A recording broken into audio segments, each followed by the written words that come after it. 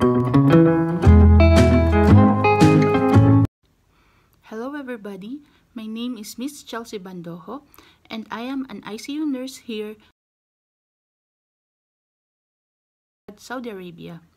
I also am a graduate school student in the Philippine Women's University in Manila, Philippines. Today, I'm going to discuss to you or teach you on how to use the CLMA device or the closed-loop medication administration device. Sounds new, right? Well, unfortunately in the Philippines, we don't have it yet. But maybe in the future, if you'll encounter this, at least you have an idea of what it is. So, what is a CLMA? The CLMA or the closed loop medication administration device is a device used to process the whole medication administration system electronically utilizing the hospital information system, thus maximizes patient safety during medication administration. With the use of this advancing technology in our healthcare system, medications were able to lessen, especially on pediatrics. So how is it possible? Hmm. Well, first, the doctor will order the medication through the Hospital Information System computer program named Best Care System, or simply, it is the electronic medical reporting system our hospital is using. This means that we are on a paperless system and everything is documented electronically. Interesting, right? So after the prescribing doctor signs his or her medication order on the correct patient, the clinical pharmacist reviews to check the order and verifies it's safe to administer before dispensing the medication. They also apprehend if the dosage of the medication is correct, is there any contraindication with the other medication, if it is available in, and so many more to practice patient safety. So most likely, if they find something wrong with the order, they call the doctor to correct his or her order. After the pharmacist confirms the order, he or she will, will send the barcoded medication in the medication room where the patient is admitted. So why should we use it? Patient safety is at the core of modern healthcare. As per Fitzsimmons and Vaughan 2015, the notion of harm caused by the processes of healthcare is evolving, and injuries once seen as unavoidable are now preventable and open to mitigation. So it has been said that the extent harm caused to patients in the practice of medicine has been showed as per evidences from reports that uncover avoidable errors, alike that involve high-risk medications such as patient misidentification and many more.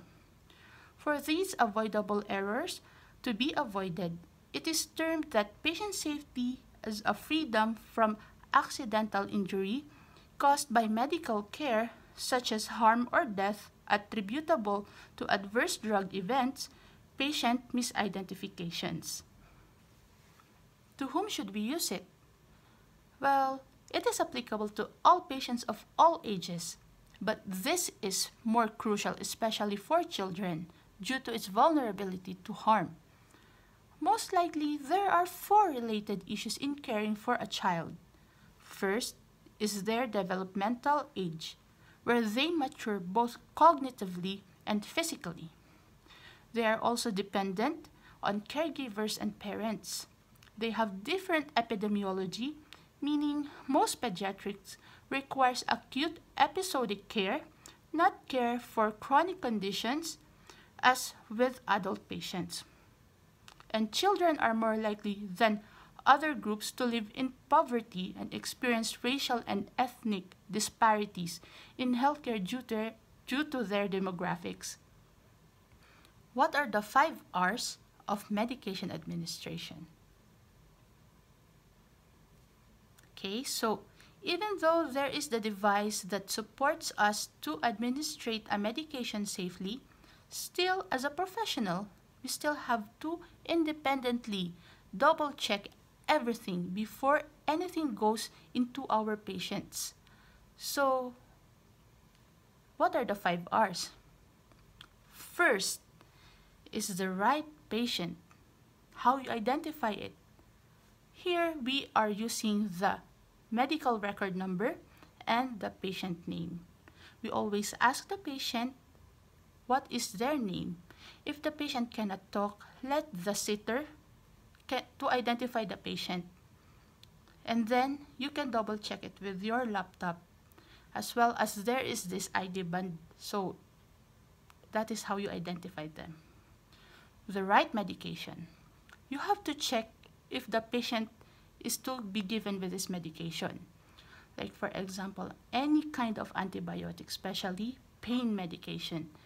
Everything must be double checked especially if, for example, the allergies of this patient, if, for example, the doctor miss the allergy status of the patient, yet the patient is having an allergy about it, you should always confirm for the right medication before it is given to our patient.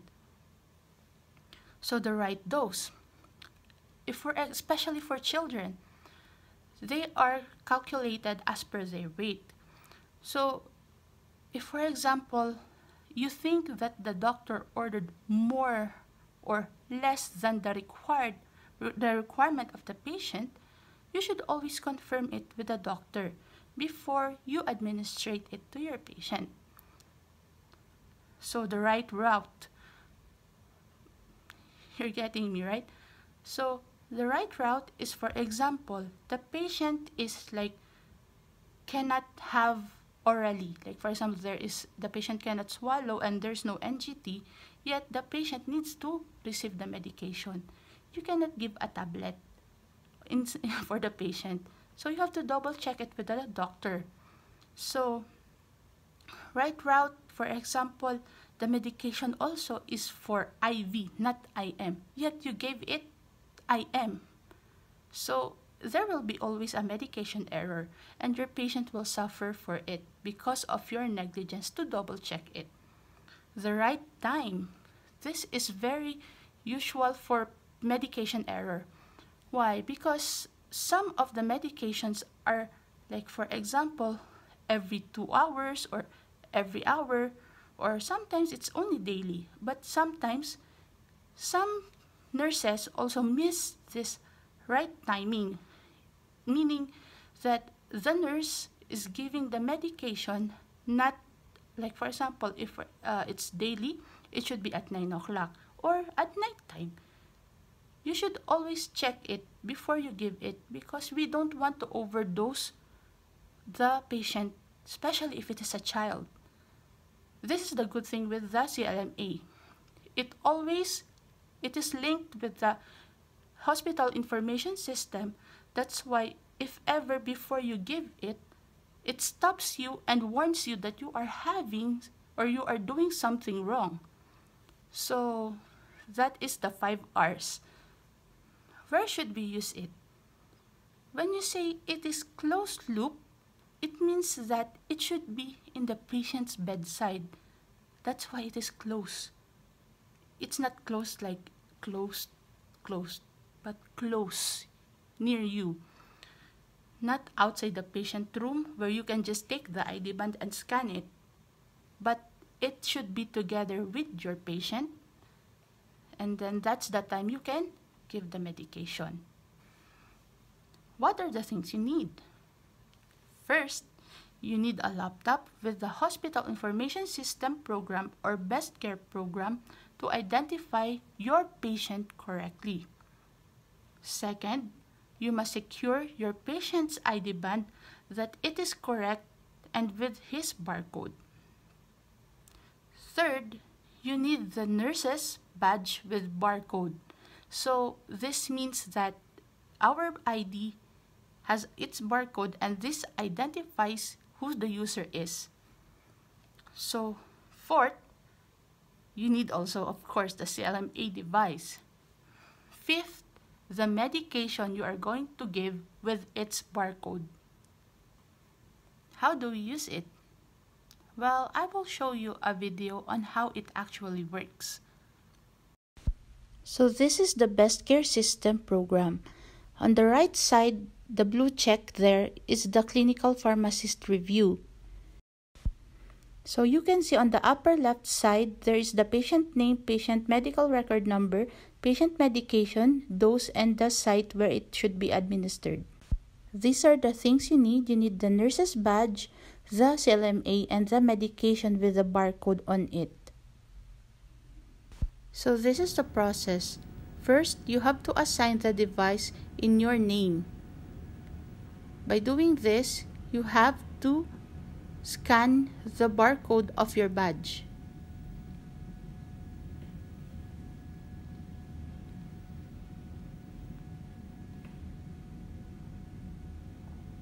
It will give you a click sound. Then you have to press done. And now, you have to log in your identification or your badge by scanning also the barcode. So the CLMA can do three functions, but we just need the medication administration. There on the next page, you will see your badge number. And then now you will have to scan the patient identification or the ID band. It will give you a click sound and then you have to press next.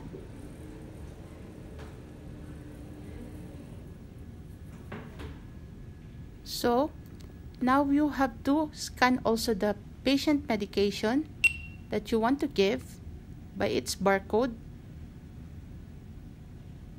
And then check it properly. Then press next. You have to verify it that everything is correct. If you don't have any medication just press no. But otherwise you can administer multiple medications in this device. Then just, you just have to sign. Double check everything before you sign it. So press sign. It will load for some time. Of course, before you give the medication, you just have to do the proper hand hygiene and then apply your PPEs then explain to your patient what you're going to do so that they will not feel anxious. And then you can do the whole process. And so you can give the medication. So that is it for this video. I hope you learned something, at least something from this video. So I hope you all well. God bless and keep safe. Bye.